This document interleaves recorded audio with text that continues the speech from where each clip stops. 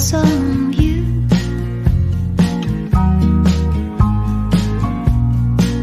still warm after the glow.